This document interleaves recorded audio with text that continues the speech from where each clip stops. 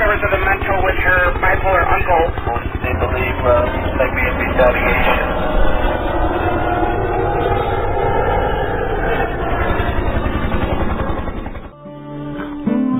I am Devaki. I am Grey Wolf of, the Peaceful Sky People. Mahalo, you 35,000 voters for the Peaceful Sky Law. Now vote in a prosecutor ready to enforce the law.